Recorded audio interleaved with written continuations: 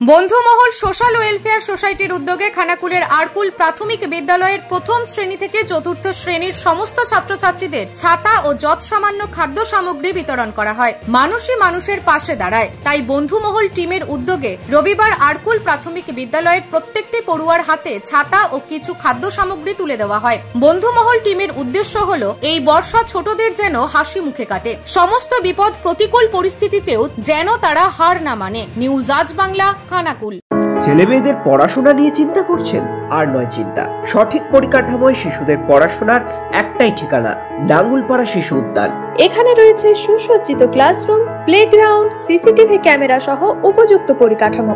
গ্রামীণ পরিবেশে সাধ্যের মধ্যে কোয়ালিটি এডুকেশনের একটাই নাম নাঙ্গুলপাড়া শিশু উদ্যান। আমাদের ঠিকানা Nangalpara Khanakul Hooghly. Phone number eight six seven zero three five four three six one শিশুর বিকাশে নিবেদিত প্রাণ সকলের তরে নাঙ্গুলপাড়া শিশু উদ্যান।